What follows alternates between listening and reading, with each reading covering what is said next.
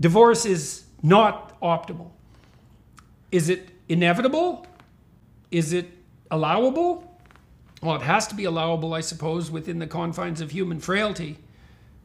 But, you know, often the problem with getting divorced is, well, you had problems in your marriage. Well, it was the other person. It's like, if you think it was the other person, then you're probably the problem. I say that knowing that now and then people get tangled up with someone who, who can't be negotiated with.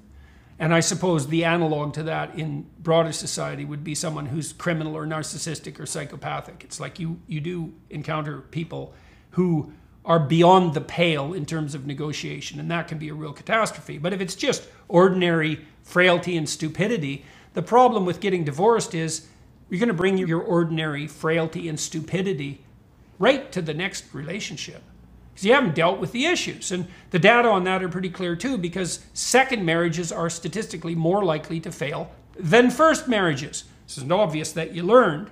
And so you might be shackled to this imbecile and, you know, dragging him or her behind you like a dead weight. It's like, well, first of all, it's not so clear who's the dead weight. And second, what makes you think that you won't do or encounter exactly the same thing the next time?